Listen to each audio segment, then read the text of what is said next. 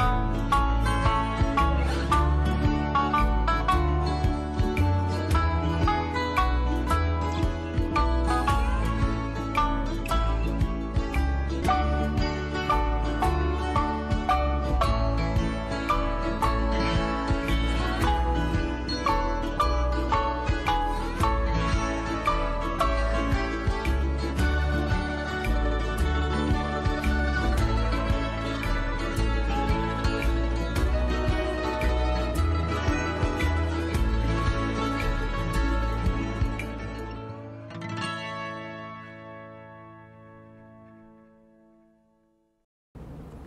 皆さんこんばんは。8月28日水曜日日本文化チャンネルさくら沖縄の声のお時間です。当番組は2000人委員会友の会協賛広告広告主総 TV をご覧いただいている皆様のご支援でお送りしております。キャスターの矢豊です。キャスターの神谷大輔です。はい。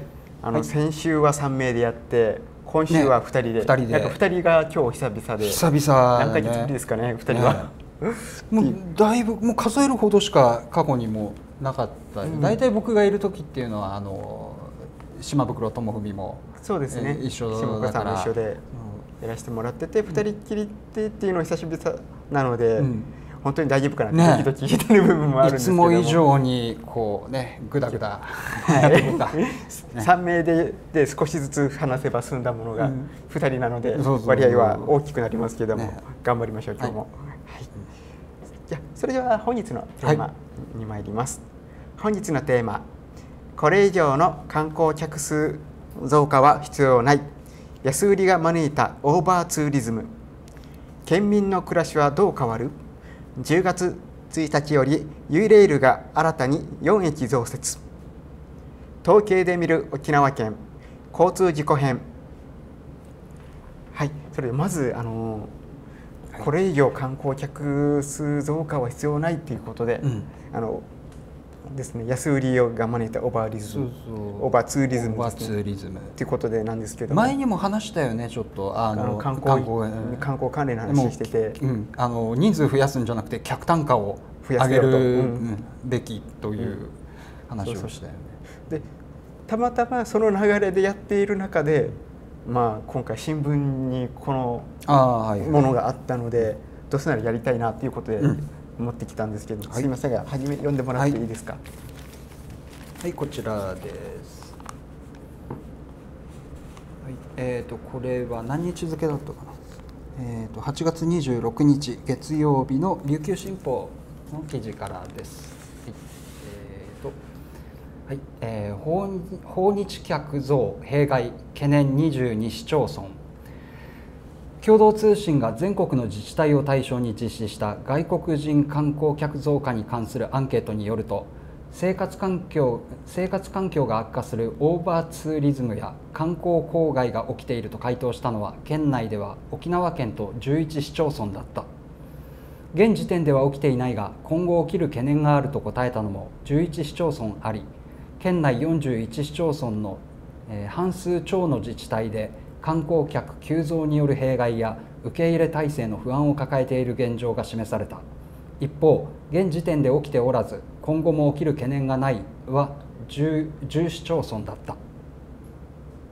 はい、はい、このようにですねあの私たちずっと観光客数を増やすんじゃなくて単価を増やした方がいいよとか話をしてて、うん、でなんでそう言ってたかというと今のようにオーバーツーリズム、うん、うんもうちょっと騒音とか、環境悪化とかもあるということなんですけれども神谷さんはあの沖縄県に来て、はい、あの今は観光客ではなくちゃんと住民としているとは思うんですけども、うん、なんかやっぱ来る時に初め観光として来た時ってどん何がいいと思ってやっぱ初めてやっぱり一番最初にねあの目を引いたのはやっぱり海が綺麗だったからね。うん僕の地元とかはもう本当にあんな綺麗な海がないから沖縄みたいな、はい。うん、もう海水浴場がなんか海水浴場の砂も白い砂って本当に実在しないと思ってたぐらいでもう灰色のアスファルトみたいな色した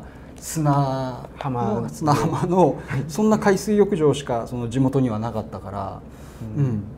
本当にあ本当に青い色した海ってあるんだと思った。逆に僕ら沖縄にずっといると、白い砂浜が、うん。あれがねの標準標準 なので、うん。え黒いってあるのみたいな感じだったので、でサンゴ礁とかもないから、はい。あのその砂浜までもう波がザップンザップンあはい。来て、その灰色の砂が巻き上げられるから、海水も全然綺麗じゃなくて、うん。ーなるほど。こう今言ったように神谷さんは海が綺麗だったって言ってくれたんですけども、あの今回このオーバーツーリズムによってこの海が汚されたりとか、うんうん。まあ、観光客の質にもよるとは思うんですけども、なんか人が増えてきてやっぱその分ゴミが増えてきて、うん。それで環境が破壊されてきて良くないよっていうこともあったりうん。もしますしこの観光客が増えたことによってちょっと外出るのが嫌だなと思う時ってありません？あのあんまり人の集まるところやっぱりそのこの沖縄だったらその国際通りとか、はい。観光客いっぱいいるところにやっぱり足が遠のくよね。そうですね、あのどこの国って指定した言い方するのはよくないんですけども、うん。ある国の方々はスーパーとかの目の前で陣取って、うん。通行の邪魔をしている状態でいたりとかするじゃないですか、こういったものとかちょっと目に余る時うんあったりするじゃないですか、だからもうこれがあるからこのお店行かないっていう人とか意外と周りにいたりとかうんするので、なんかこれが確かに観光客が増えて消費が増えたかもしれないけども、うん。地元のお客さんっていうのは減ったお店とかも多いんじゃない多かな分観光地でも、うん、僕もその結構ちょいちょい出張出張というかまあ、うん、いろいろ仕事で県外行くことあるんだけど、はい特にあの関西方面よく行くんだけどやっぱりその、まあ、ついでだから観光もしようと思ってその例えば京都に仕事しに行った時はその神社とか、ううんあのお寺とかあのちょっと少し寄り道して見たりとかするけど。うん、やっぱりそのね外国から来た観光客がなんかややたらと大声であのまあもうしゃしゃべるっていうかもうはしゃいじゃって。でやっぱりえー神社とか仏閣ってもうちょっと 落ち着いた気分で楽しみたいんだけど、どうやらテーマパーク扱いされちゃってるみたいで、うんものすごくギャーギャー騒いでる人とかがいたりしてそうするとその、まあ、たまたまそのお寺あの、うん、あ神社か。あのどことは言わないけどそこには僕は何回か行ったことが過去にもあって。はい。でまあ3回目4回目ぐらいに行った時にちょっとそういうあ嫌だなって思いをしたんだけれどももし仮に初めて行った時あの光景見ちゃったらまたここに来たいっては思わないだろうね。だから結構その外国人の観光客来てくれるか一方で多分その日本人の観光客が逃げ出しちゃった観光地って多分たくさんあるんじゃないかなと僕が知らないところでも。そうですね。あの前回ちょっと私たちがやった時に、あのお話ししてたんですけど、国内の観光客の方が結構消費してたりするのもあったりとか、今から伸びる伸びしろがあるのは国内の観光客だと思うのに、外国人だけ外国人だけってずっとうん。やっているこのバランスの悪さっていうのもちょっと目につくかなとは。やっぱりね内需増やした方がいいじゃん。そうです外,、うん。あの外外外需っては言わないんだろうけどさ。そうですね。ん。でうん。もその海外から観光に来てくれる人の落とすお金を当て込むっていうのは、それよりもう日本人がに日本の観光地であのお金使って国内で内需で回していった方がいいよね。そうですね。あの世界の政治状況とかによっては観光客が来れなくなったりする場合もあるじゃないですか。あとあの自然災害とかでね、はい。特に日本はそうですね。ん地震があったとか、どっか噴火したとかで、もう一斉にキャンセルになっちゃったりとか、はい。うんまあ、これは別にあの外国人観光客が国内か関係ないんだけど、そういうやっぱりあのすごく弱い部分、うんうん。がある産業だから。うん、だからそのちょっとどっかの国の人が減っで来るの減ったとかでギャーギャー騒いでたらもうやっていけないよね長い目で見たらね。そうですね、今だったら特にあの韓国の方とか、うん。韓韓国からの観光客が減ったと。うん。うん。でこのでそれに乗じて、ああこんなに観光地困ってる日本政府のせいだとかでどっちもどっち論に持っていきたがるような論調もあるでしょ。でも今回あの神谷さんも調べてくれたデータとかを見ていくと、本当に韓国の方がいる方がいいの？どうなのって思うデータうん。もありますよね。ちょっとそのデータをまず見ましょうか。はい。こちらですね。観光庁の方が出してるデータでして、これねあの沖縄県の同じデータないかなと思って探したんだけど見つからなかったんで、はいあのまあ観光庁が出してるこれ日日本全体。体訪日外国人1人当たり旅行支出。うん。でこれで値段を見ていくと実は韓国観からの光客の方が一番少ないと。うんそうそう。まああの多分近いから気軽に来れるっていうのもあるだろうから、そんなにね遠くから来る人はあの、ね、気合い入れてうん。いろいろお金も用意してで時間もいっぱい休暇取ったりしてくるだろうけどやっぱり韓国とか台湾とかねあの近くから来てくれる人っていうのはあの結構気軽に来れる。2泊3日とかでも十分ね楽しんでいけるような距離だから、うん、当然まあ落とすその消費する額もそんなにね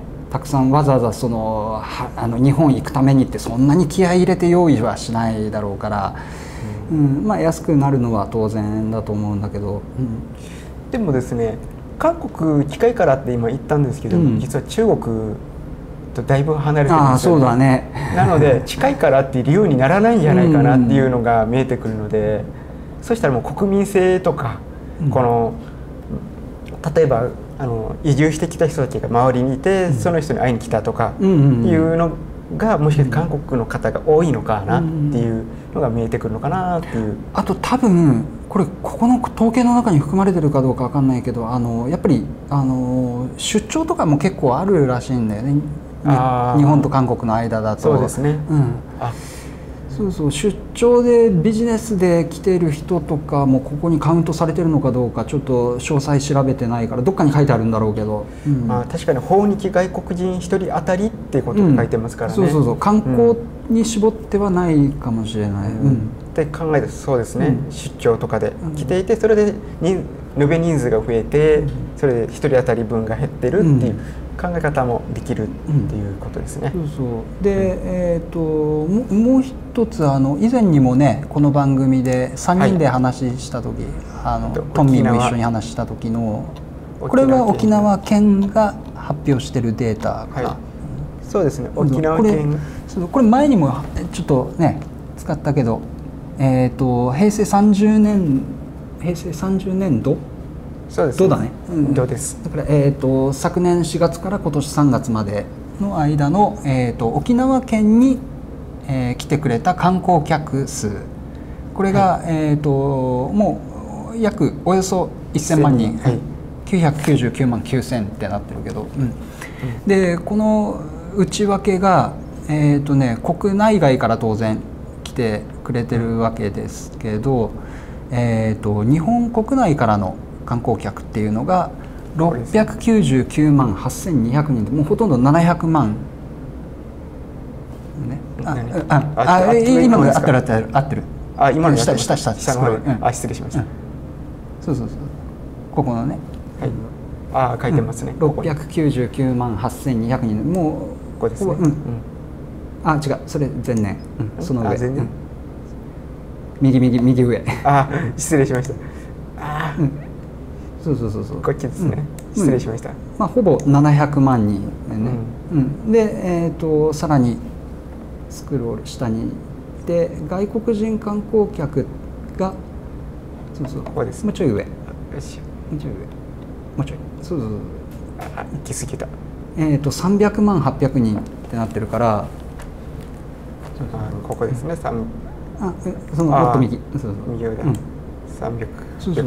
だからもう本当に1000万のうちもうほとんどぴったりあのー7割が国内。はい。3割の300万があの国外から来てくれてるっていうことで。で考えると沖縄県の場合は、か外国人の方の消費を増やすより国内のまずその増やした方がいいと。うん。まず、まあ、単純に人数で言えば7割が日本人、うん。国内からなんでね。そう。でそので外国人だと全体の3割。うん。であの、まあ、例えば今そのねあの韓国からの観光客が減ってるっていうことで、うん。あの騒ぐ人も結構多いけどね。その、まあ、沖縄県に限って言えばそのぜ外国人が全体観光客全体の3割、でさらにその中の一部なわけじゃない。韓国から来てくれる人っていうのは。でさらにまあねちょっとこう言っちゃなんだけれどもあの落としてくれるお金は一番他の国から来る人よりも少ない。少ない、はい。えーだからそれ考えるとそんなにその経済的なねなんか損失とかっていうふうに騒ぐようなことなのかと。で一応ですね、あの観光庁のやつで円グラフがありまして、うん。でこちらを見ると韓国が13%とはこれは訪日外国人全体だよね。なっているので、うん。結構割合として大きいように見えるんですけども実は台湾の人とほぼほぼ変わらないうんうん。ので、これは総額で。総額の割合なので。うん。人数関係なく、でもあのあんなにいっぱい来てると日本国内で,、での消費が4兆円4兆5,000億ぐらいしかないんですよ。もっといってそうなそうだね。イメージだったんですけど、意外と少ない ね。ないっていう。そうでこれ、うん全あの GDP の中に占める割合って言ったら本当うん観光業でもやっぱりビビたるものなのかな割合でいうと、うん。うんやはりやこの外より中の内需といいますか、内部で消費をうん増やしていった方が経済としてはうん。やっぱいいんじゃないのってうん。見えてきますよね。なんかもう観光立国目指そうとかいうの自体がなんかおかしな話だよね、うん。日本で、せっかくまあ確かに観光する地域とかはうん。いっぱいあっても、うん。この消費させるというかこの国全体を支えていくうん。部分っていうのがおろそかになっているのかなと思いますし、うん。で観光客が増えることによって先ほど記事にあったように、うん。あのこの環境を悪化させてる人とかあ中にはねいるので、ね。結局それを改善するためにお金を税金をかけるっていうことを考えたら結局この、ね、4兆5,000億が入ってる中のん何割その修繕費とかにいってんの？うん。って考えると、う。ーんって思うところも。あのだからさっきの記事これね一部だけ冒頭部分だけ読んだけどあの、まあ、続きが2面とかにもあってさっきね読んでみたら、あのやっぱり問題として起こってるのがそういういろいろマナーの問題、うん。そのトイレの使い方だったりとか、ねあとはあの私有地にこう勝手に入っちゃう人とかがいたりとか。でまあ、そういう問題が出てきているということで別にだから来るなということじゃなくてそういう人たちにこういうことはやらないでくださいっていうことを、まあ、もちろん周知させてそれもあのちゃんと守ってもらえるようにあのいろんな働きかけをしないといけないわけじゃない。でもちろんあと、まあ、宿泊施設が足りてなかったらそれもあの対応できるようにしないとだし、はい。あと、まあ、例えばその交通も、うん。あのこの記事の中にもあったんだけれどもやっぱり沖縄だとそのあのモノレールねあれ今現状では2両しか1そうですね。便ないから、はい。あのそこにその大きなスーツケースうん。を持って乗ってくる人がたくさんいるとあの本当に通勤とか通学に使う人が乗り切れなくなってしまったりとかそういう弊害があったり。うん。うん。本当ねあの僕も時々モノレールユイレール乗るけどやっぱりそれは感じる。あの本当に一番多分これ一般に市販されてる規格の中で一番大きいサイズだろうなみたいなスーツケースをあの両脇に。両両脇に両脇ですか2つね持って乗ってくる人とかだからもうスペースとしては1人なんだけれども2人3人分ぐらいの、うん。うん場所がどうしても必要になってしまったりとか、うん。そうそう。だからねあのそういうのに対応していかなきゃいけないんだけれども追いついてないじゃないね。現状。え特に今あの那覇空港もまだあの滑走路新しい滑走路まだね使えないし実用、うん、されてないし結構飛行機もよく使うんだけどあのやっぱり滑走路混雑ではい。あの離陸がなかなかできない時とか空で待つんですよね。あそれ着陸の時ね。着陸うん離陸自体もそのあのもう準備はできててもうみんな乗り込んでドアクローズしてもう動き始めてるんだけど滑走路の近くまで行ってもう順番待ちの飛行機が並んでたりすると。そうあの結局飛び立つまでドアクローズからその離陸するまで30分近くかかったりとかあとその着陸の時もさっきね話したみたいに、その降りる順番待ちで上空で旋回しながら待ってるとかこれ結構多いわけよ。うんうんだからねそういうのにも対応していくためのまだ、えーね、追いついていないから、うん、こちらがその、ね、こちらのキャパを超えた観光客の人がたくさん来てくれて、まあ、来てくれるの自体は嬉しいことだけどもうそれがさばききれずにもう弊害が出てきてしまってそれが懸念されている状況で。最もお金を使わない層の人たちが来なくなってくれるっていうのはむしろありがたいことじゃないかと。そうです。ね、うん。相対数が減ることによってそれにに対応する充実度が上がるってうんうんうんことですもん。ね。うん。今までねさばききれなくて弊害出てたのが、それが解消されていく、うん。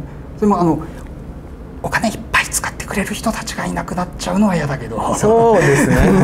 逆だったらそれはむしろありがたいこと、うん。うんそうですね。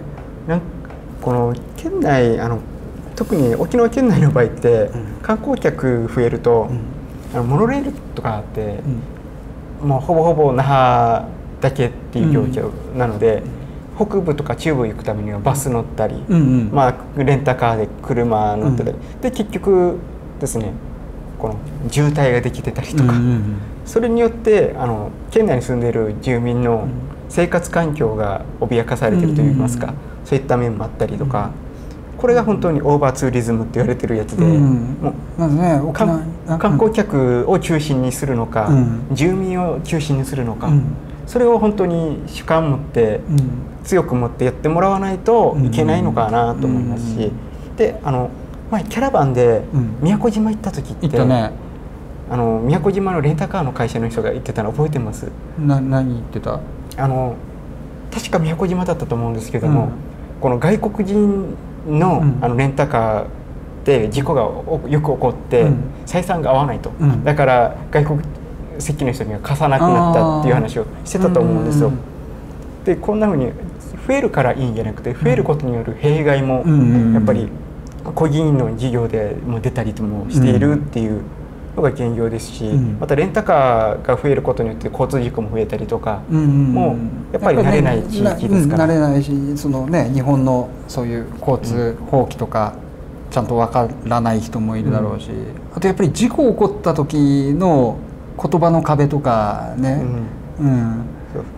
警察側もそんなね外国語できる人そんなに人員多くはないだろうから、うんうんうんやはり増えたことによる弊害もちょっと見てってやらないとうん。うんいけないかなとう思って、ん、だからやっぱり前にね話したことと結局結論はかぶるけど、あの人数増やすことは目的じゃないから、うん。なんかえー結局まあまあねぶっちゃけビビジネスなんだから商売なんだから儲けてなんぼじゃん。そうですね。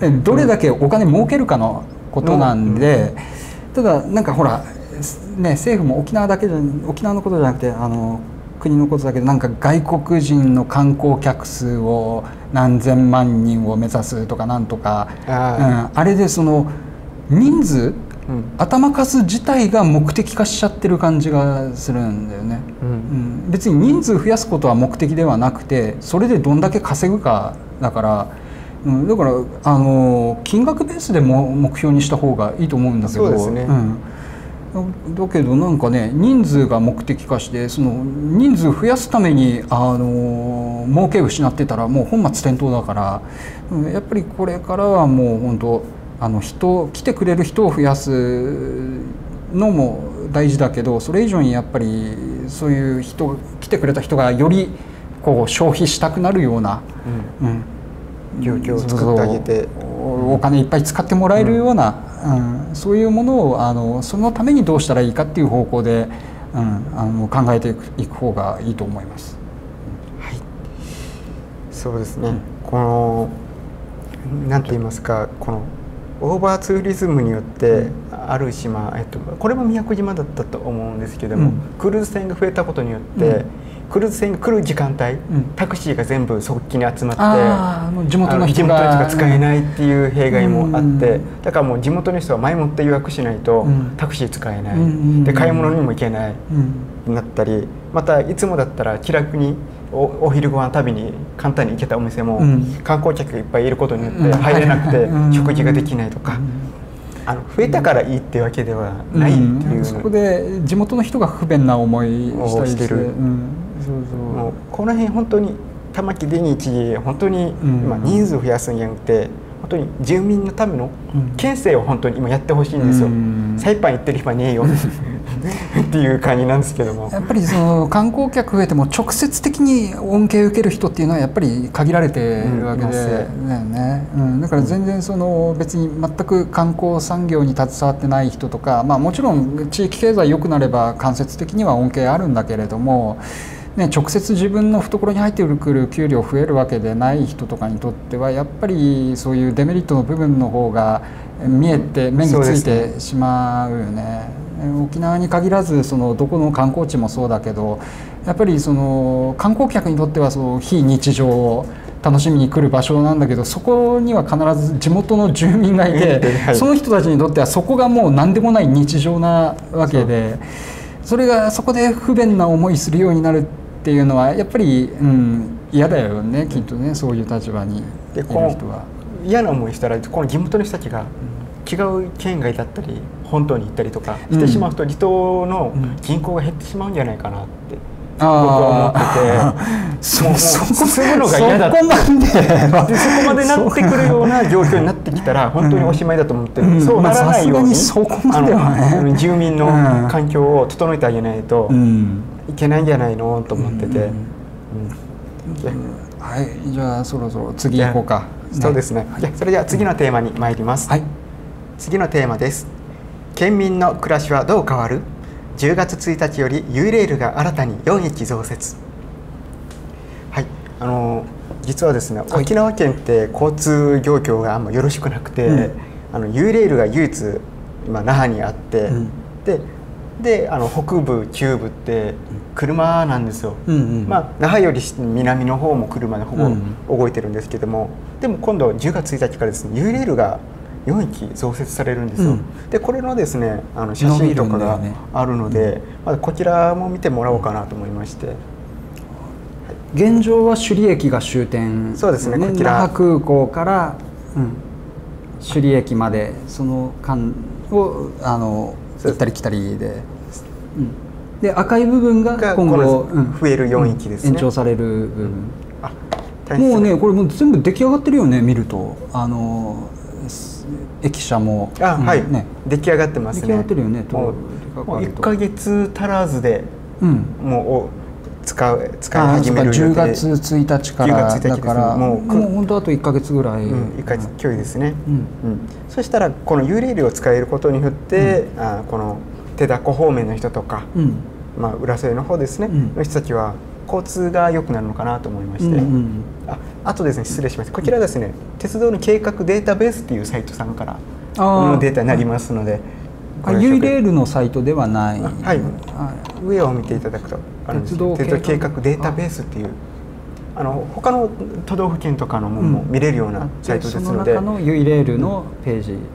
なので自分の地域に、ね、住んでる県とかうん。ないかなと思う方は、ぜひこちらから調べたらいいのかなと思います。これねうん、終点のそのなんだっけ？手だこ裏西？はい。あこれ伸びてくれると僕は結構助かる。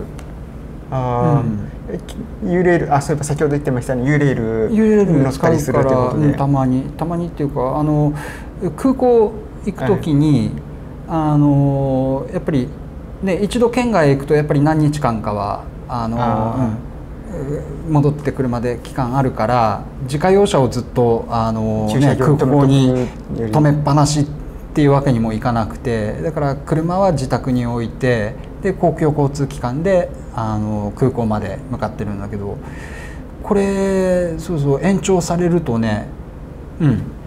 あの結構多分今までより便利になると思う。今はあの宜野湾の自宅からバスに乗ってあのモノレールの古島駅っていうところまで行って、はいはい。そこからモノレールに乗り換えて空港に向かってるんだけど、うん、あの新しくこの終点になるこの手だこ裏西までバスで行ってそこで乗り換えできるようになるとそっちの方が多分時間的に早くつけるかなと思う。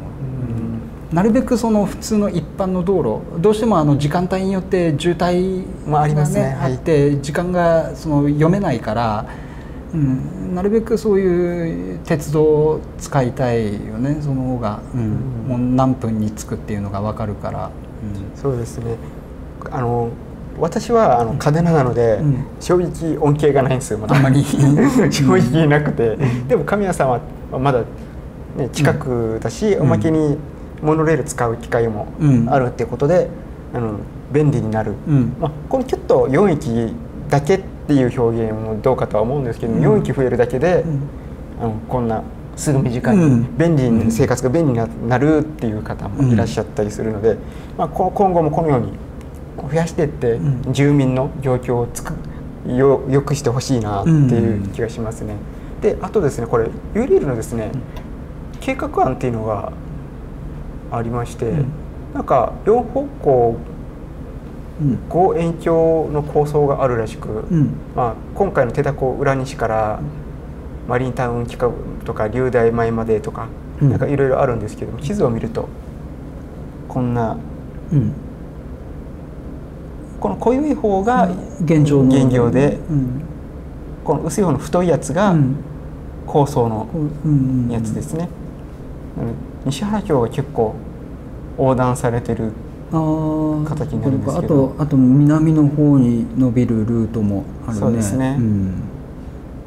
うん U レールが南側をある程度工面してくれたら、うん。まあ南側の交通量は改善されるのかなってういうん。気はしますね。あの辺普段なかなか行く機会がないんだよな。でもどどうなんだろうね。あの一番そういう恩恵を受ける人が最も多いのは どのルートなのか。うん。この駅駅のところにうん観光になるところがあるのかっていうところもネックになってくるのかな、う。ん。まあ、もしくはなかったとしても、ベッドタウン的なっうんていうかこのなんていうんですか？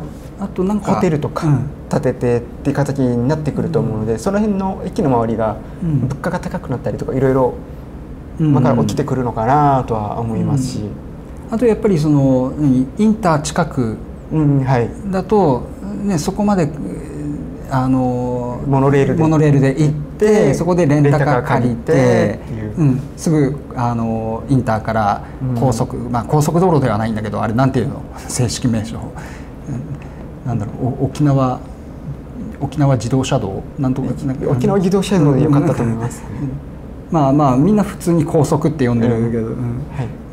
そうそこのインターだからインター近くまであの、ねモノレールで行くとか、そういういろんなその何移動の選択ができるそういう要所要所とかつないでくれると、ね結構便利になるよね。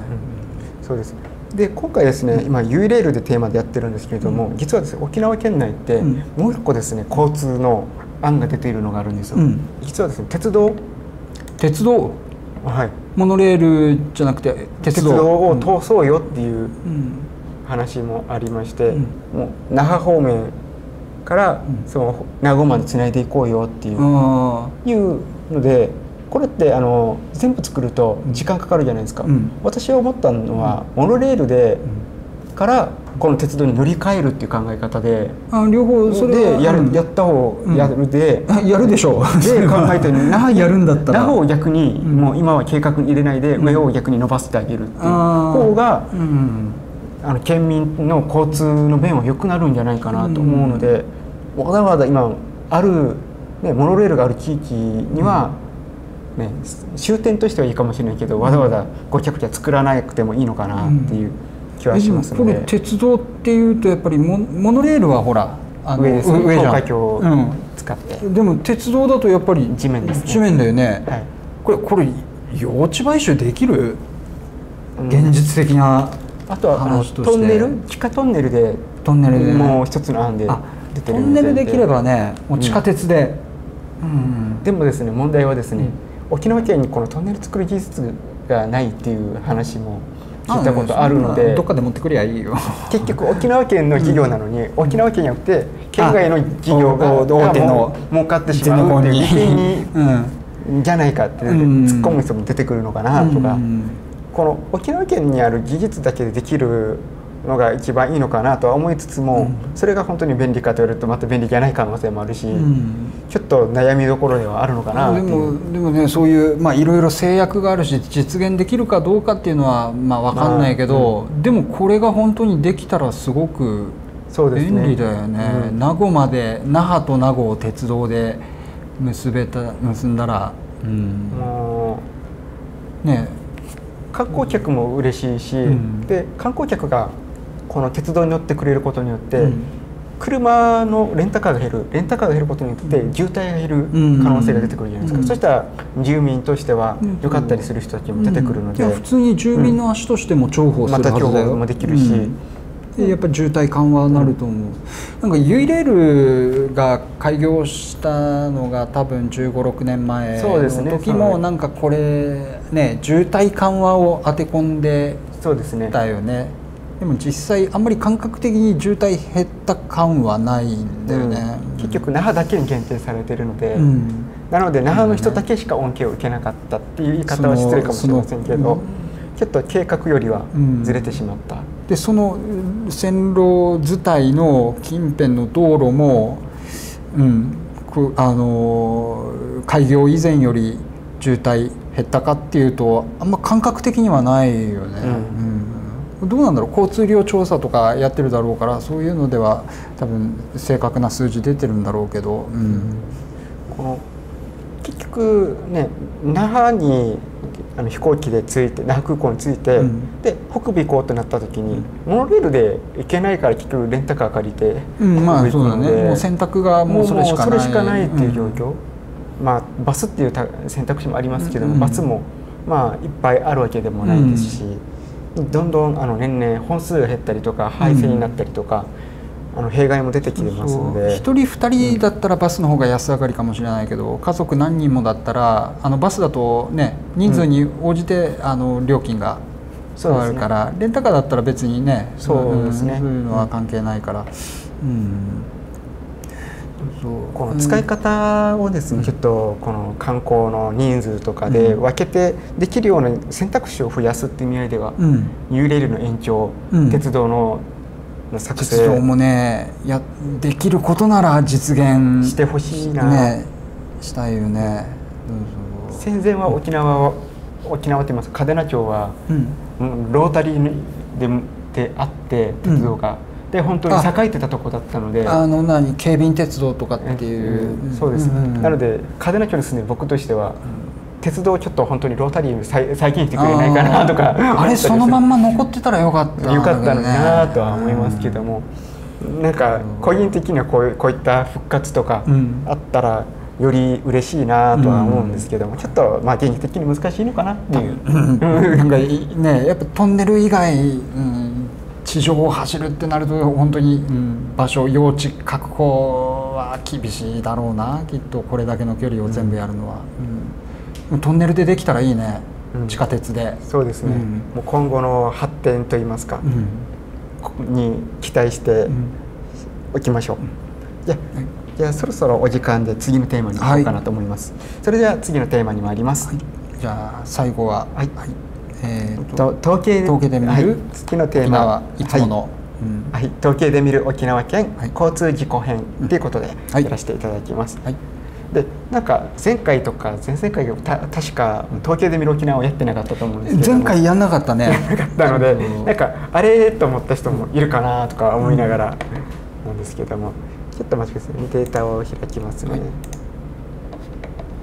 はい、まずですねあの交通事故数を、はい。あの全国のものでお警察庁が出しているもので、はいこれ1月から7月までの、今年の今年の1月から7月までだと思うんですけど7月末まで、ちょっと起算日が明確にされてないので分かりづらいんですけども、多分1月1日1月からだと私は認識しているので、それでちょっとお話を進めさせていただきたいと思います。でこちらでですね見ると7月末までのもので、うん沖縄県が28位で2187件、交通事故発生件数、ん。そうですね。で去年の今の時期に比べて277件減りましたよ。うん。ってなってるんですね。うんうんこれはもうあのあれでしょ？もう単に単純に件数だけで。件数だけですね。その人口何万人あたりとかそういうのじゃではなくて。なくて、うん。なので、まあ、沖縄県は人口は少ないけども車は多かったりとかうんうんもあるのでちょっと一概にねみんながおどのぐらいの人がね、うん。起こしてるとは限らないとまあ思います。し、こうこうこれだけであの、まあうん他県との比較にはならない。はならないんですけども。実あの件数だけをそのまんま並べたもの並べてます、うん。やはりあの人口が多い東京都うん。が1位。うん一か7月末までで1万8000件。うん。でも件数は減っているとうん。いうことですね。だからこれあれでしょ？増減っていうのはその前年同期比っていうことそうですね。はい、うんなので全体的に見ると全国で見ると2万8000件近く減っている。うんうん。あの昨今この煽り運転とかで問題にはなってるんですけども、うん。実は事故件数自体は減ってるんだよっていう、ね、現状は、うんうん。まあ見てもらいたいなと思いまして、そううん。確かに悪質な事故とかは増えてきて、うんあのに全国ニュースになったりとか痛ましい思いするのもあるんですけども、件数自体は減ってきてる、ん。やっぱり技術の発展とか、うん。車が自動操縦まではいかないけどもうん。ブレーキをちょっと補助してくれたりとか、うんそういったのでふ減ってきてるのかなっていう感じですね。でこの事故発生があるってことは被害者がいるんですね。うん。で被害者がいるということでえーっとまずあの死者数ちょっと痛ましい人数ではあるんですけども、これも、えーとうん。今年の7月末末まで、時点、うん。沖縄県は12名でん。少ないではあるんですよ。うんうん。うん。でも12名も亡くなっているっていう、うん。ちょっと。でもやっぱり去年のお同時期よりは10 10 10人減ってるっていうと去年はこの7月末時点で26人も亡くなってたってことになる、なりますね、うん。うん。うん。それを考えるとなんか減ったことに喜んでいいのか、うん。この人数がいることに悲しむべきなのか、うん。ちょっと思うところはありますけども、であの先ほど事故件数がうん東京が1位ですよって言ったじゃないですか、うん。だけどもこの死者数っていうので見ると、うん。千葉県が実は1位でして、うん。で83名もうん。亡くなられている。でも全国的に見るとあの前年比マイナス236名。減ってはいるね、減ってはいる。うん。やっぱ事故が減った分亡くなった方も減っているっていう、ん。まあ減ったことは喜ばしいことなんですけども、うん。全国で1647名もうん。もう今年だけでもうこの7月末までで亡くなっているっていうのを考えるとうーんとは思いますし。でですね今はこれ死者数でやったんですけどももう一つえっとちょっと待ってくださいね。負傷者数っていうことでありまして、沖縄県がですね負傷者数がうん。2544うんあのなんですよ。あで愛知県が今度1位なんですよ。ーうん。つまり死者数は1位ではなかったけども、まあ軽い怪我とかうんうん。捻挫とかそんなのでしょうね、の人数は愛知県の方が1位ですよっていう、この死者数と負傷者数は比例はしていないっていううん形にはなりますね。あの僕たまたま一昨日あの免許の更新があって、はい。であの30分だけで済んだんだけどあ有料。有料でそう。でもやっぱりねあのいっぱいあの事故のシーンを見せられた、うん、あのあれカメラであの、うん。うん撮ってるやつあの何だったかな。どこだったかなあれ。えっ、と茶炭になるのかな北谷の交差点、はい。事あの故率高い58号線から国体道路に入っていくところであはい。あの右折する車両と直進車が、うん。うんぶつかるシーンがもうこれでもかっていうぐらい、うん連続で、うん流れてた。そうそうですね。やだねあれは本当、うん。見ててね。こう見て事故を起こさないようにしようって。うん、うん思うんですけどもでも起こした人たちも起こしたくて起こしてるわけではうんうん。ないので、あの起こさないように気をつけようだけじゃなくて、起こさないようにどう動くかっていうので、ね。本当は考えないといけないのかなっていう、うんまあ、そのために自動運転といいますか補助とかがうん。ついてる車に買い替えるっていう人もいれば、まああのカーナビじゃなくて何でしたっけ？ドライブテレコーダーとかをつけて、う状況をちゃんと確認できるようにしてるとか、思い出した何でしょうか何でしょうかドライブレコーダーの必要性を、うんありました痛感した出来事豊も知ってる。ああれですか？トンミーもいたなあの時。そうです。3名で三人の共通体験。そう豊が運転してあれあれ話す？あ。ああの時の話。時間ある？大丈夫です。大丈夫です。大丈夫。だだどっちが話す。僕が話す。でいいです。あー。流していいですか？僕より前ので あれはいつもう2か月ぐらい前だったか。そうですね。ね、うん。23か月前だよね。あのちょうどそうちょうどあのちょっとちょちょっと説明するから。あ はい。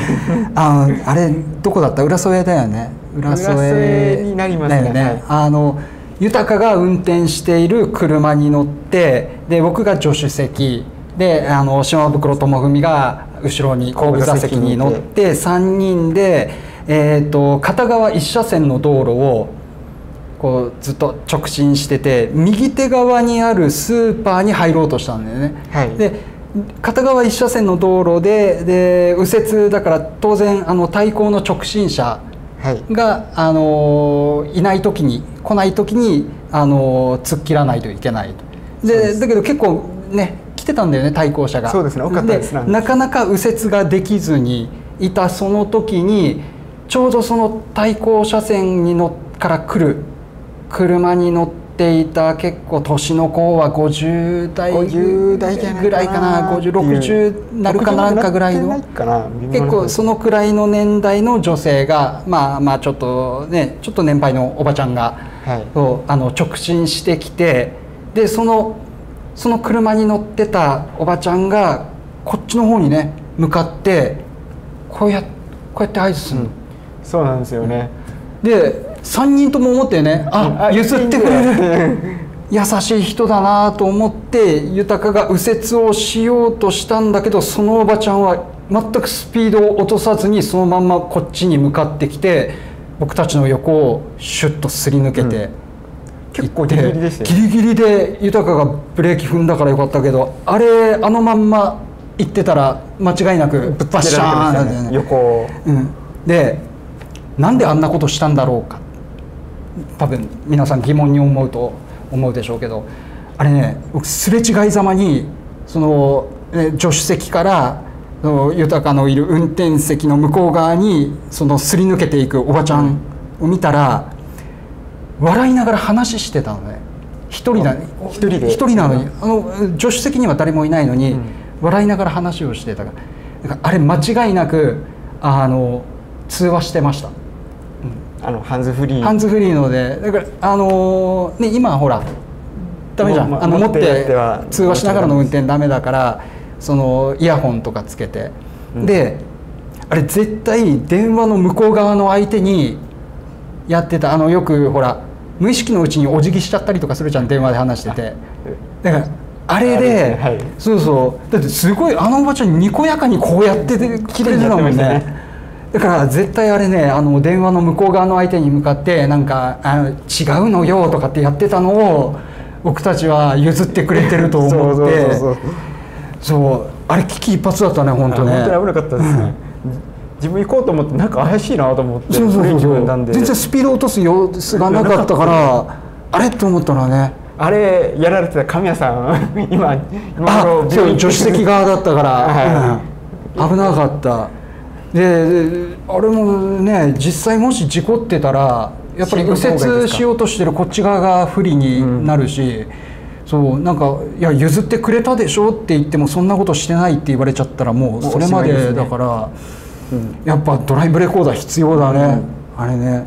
であのほら今そのイヤホンとか使わないと運転中の通話できないうんっていうのは当然その安全性を考えてそうなったんだけどでも今回のその僕たちが体験した例だとあのおばちゃんさその両手がハンズフリーだったからあんな危険なジェスチャーができたわけだよね。こんなことやって。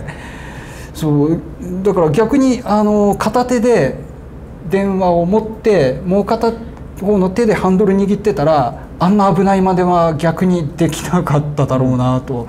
うんまあそう生地両手空いてるだけにあんな危険なことをされて、うん。多分あれ以降もあの人はいつか事故を起こすまでやり続ける。でしょうね、もう、ほ本当にねドライブレコーダーって自分自身を守る意味合いもありますし、うん。相手のもしかしたら目の前で自分は被害じゃないけども目の前に事故を移して、うん。その人のためになったりとかうん。することもありえるので、自分が当事者じゃなくても、ね、当事者じゃなくても、うんなので周りのためにも、うん。自分自身のためにもね。つけるべきなのかなっていう、いや本当に僕まだつけてないからうん。自分の車につけようと思う、結構手頃な値段で今いっぱいまあ出てる。1万ちょいぐらいで入ったりそんなに質を問わなければ。まあ。うん、そうですね。これはうん。そう、うん。これはね、うん、本当ちょっと恐怖体験といいますか、うん。皆さん気をつけて。あれね結構後から思い出してもゾッとするんだよね。怖いですね、あのこあのもうおちょっとお時間の関係で、はいうん。じゃあじゃあすみません。告知告知お願いしてもらっていいですか？はい。はい。はい、こちらです。はい。えー、と琉球新報沖縄タイムスを正す県民国民の会8月定例会のご案内です、えー、と今回は特別講演会としてああ沖縄戦の学徒隊講師に村田春樹先生をお迎えしてお話ししていただきます、えー日時が8月31日土曜日、えー16時30分受付開始です、えー場所は、えー那覇市の、えー沖縄産業支援センター、はい。えーこちら参加費無料ですのでぜひ皆さんお越しください。よろしくお願いします。はい、もう今週ですね。ね。もう楽しみだね。木金土だからもう3日後、3日後ちょっと楽しみでうん。ワクワクしてる方もいるかもしれませんので、あとねあの確か村田春樹先生はあの、ね、本社の方の番組金川雅子さんと一緒に「大きな輪」っていう番組にも過去に出演されてあのお話ししてるのでお話ししてくださったのがこれあの多分2回に分けて前編後編そうですね。やってましたね。2回に分けてると思うんであのもしねよかったらあのお越しになる方その前にあのその番組もあの YouTube であのご覧になれますので見てきてうん見ておいていただけたらと思います。うん予行演習といいますか予習といいますか、まあ形ででも、ってことですね。はい。じゃあ今週と言いましたかもう今回あのお時間になりましたので、はいはい。ちょっとあっという間だったんですが、ね。はい。これでおしまいとなります、はい、それでは皆様ありがとうございました。ありがとうございました。